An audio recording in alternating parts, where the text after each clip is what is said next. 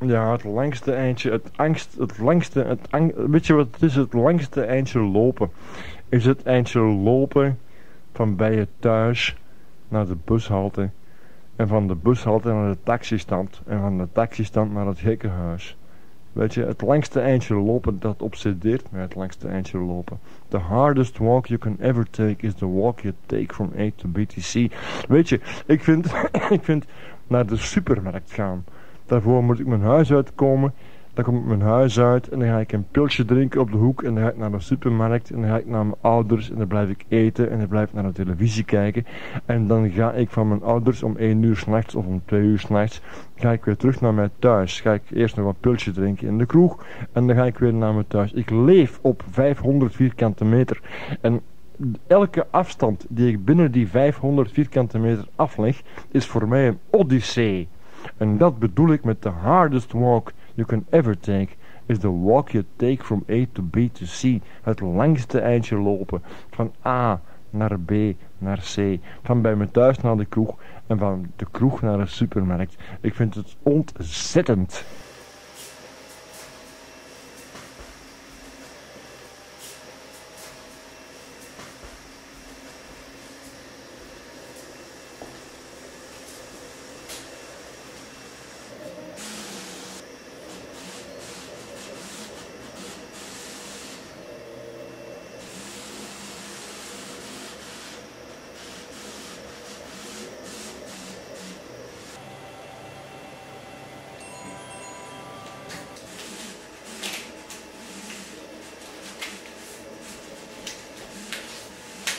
Mijn eigen werk, het werk van J.M.H. Berkmans en de persoon Jean-Marie Berkmans, dat zijn twee totaal verschillende zaken hoor. Dat zijn twee totaal verschillende zaken. Ik bedoel, als je het werk van J.M.H. Berkmans leest, wat een groot woord is natuurlijk, J.M.H. Berkmans, drie initialen, dan denk je, als je dat leest, dan kan je wel eens denken van waarom pleegt die man die dat schrijft geen zelfmoord. Maar Jean-Marie Berkmans pleegt geen zelfmoord hoor. Mij gaat het goed, hè?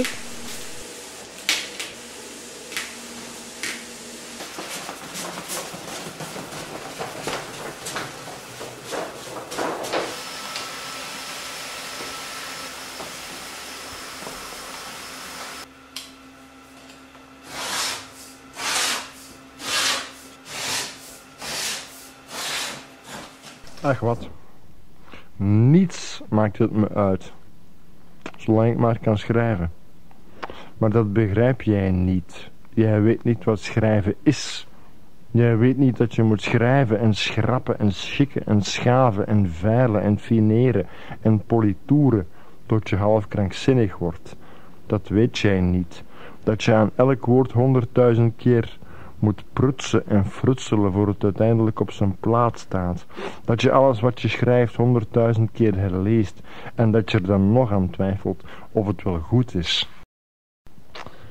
J.M.H. Bergmans is een schrijver. En Jean-Marie Bergmans is een sukkelaar.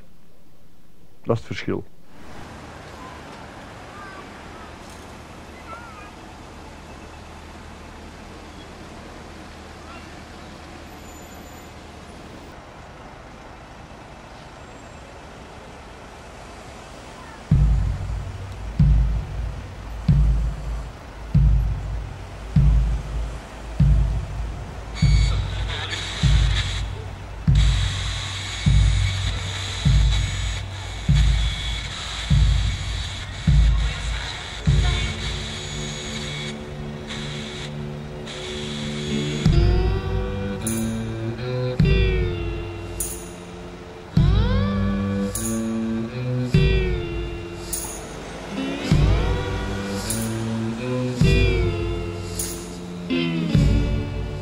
Herinneringen zijn gewoon totaal waardeloos. Je kan 100 miljoen, 100 miljard herinneringen hebben en die zijn allemaal waardeloos. Alle herinneringen zijn waardeloos.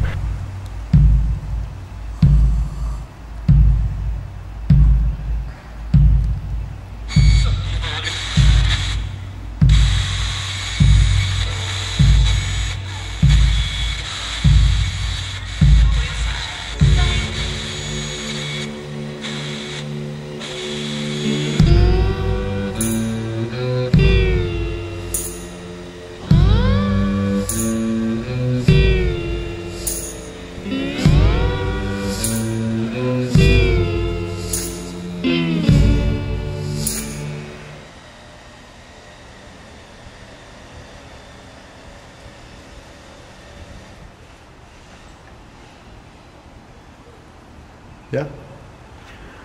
Er was eens een ambrasje in het hulpkastje. En vandaar begint hier en nu op wat de ecclesiast zonder schroom en zonder deernis de Nevski-prospect van Klein Constantinopel durft te noemen. In het hart van deze grauwzone, in de diepte aller duisternissen en de duisterste aller diepte, in de stilte voor de storm, in het oog van de orkaan, mijn en Pafkes legende, in versvoeten en vuile sokken, bezeken onderhemden, bescheten onderbroeken, schoenen zonder zolen, hemden zonder knopen, truien met grote zwarte gaten aan de ellebogen, mismoedigheid, moedwil en misverstand, treurnis en droogte in de strot, veel, veel zatternij, honger naar een broodje shawarma, honger die evenwel nooit nog te stillen valt, omdat het de eeuwige en onophoudelijke honger is naar meer van alles, terwijl datgene wat nog voorradig is nog minder is dan niets.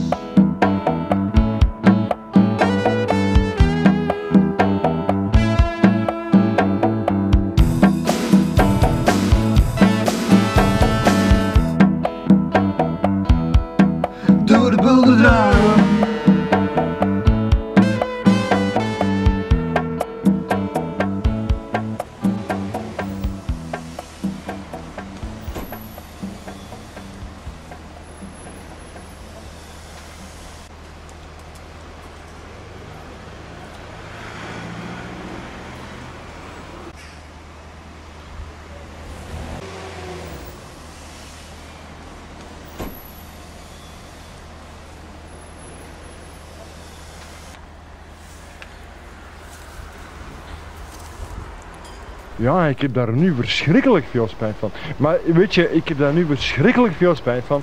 En ik heb verschrikkelijk veel spijt van heel veel dingen. Maar ik ben ook heel erg blij om heel veel dingen. Dat ik een heel veel dingen heb mogen meemaken. Daar ben ik ook heel erg blij om. Maar ik heb toch ook wel heel, veel, heel, ah, heel erg veel spijt van heel veel dingen, ja. Ja, Ik heb heel erg veel spijt van heel veel dingen. Ja, natuurlijk. Ik heb er bijvoorbeeld, bijvoorbeeld verschrikkelijk veel spijt van dat mijn huwelijk eh, om zeep is. En dat ik nu alleen ben en zo. En het voor de rest van mijn leven waarschijnlijk wel alleen zal moeten rooien en zo. Denk je dat? Ja? Ja, ik denk dat wel omdat ik een verschrikkelijk moeilijke man ben om mee te leven en zo. Nou, ik hoop, ik hoop dat ik nog eens een vrouw tegenkom, maar ik, uh, ik betwijfel het wel. Denk het niet.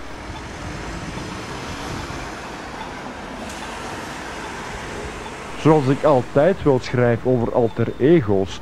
De gaskamerman, de schilder K. En zo meer enzovoort. Ik schrijf voortdurend over alter ego's. Nooit over mezelf. Want mijn eigen leven is niet interessant.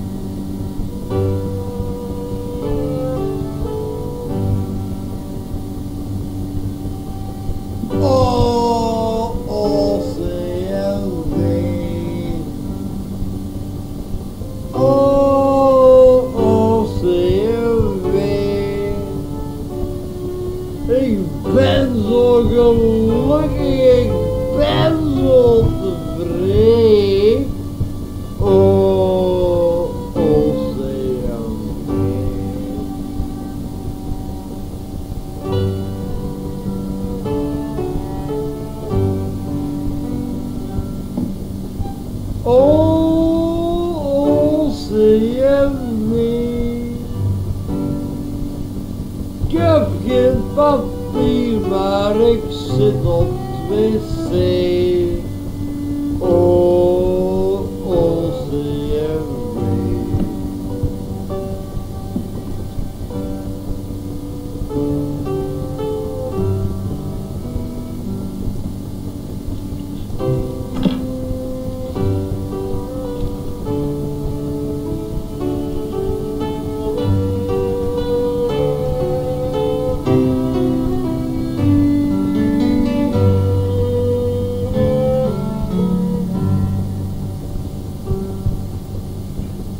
O, OCMW. O, OCMW. Jij geeft mij een kotzak, jij geeft mij een brief.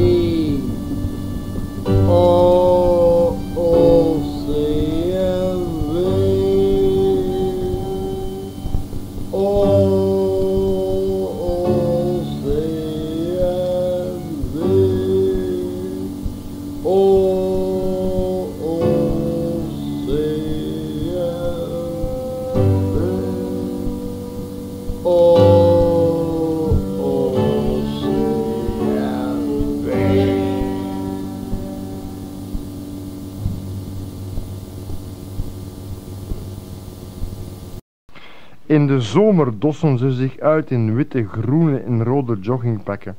Blauwe, zwarte en gele mutsen en paarse, oranje en appelblauw zeegroene espadrilles. Ze staan pas op als ze wakker zijn. Pas als ze moe zijn gaan ze weer slapen. De godganselijke dag lopen ze druk doend heen en weer, op en neer, af en aan, klaarblijkelijk allerhande boze plannen ten uitvoer brengend, waarvan de zin en het patroon voor mij volledig ontoegankelijk zijn en volstrekt ondoorgrondelijk blijken.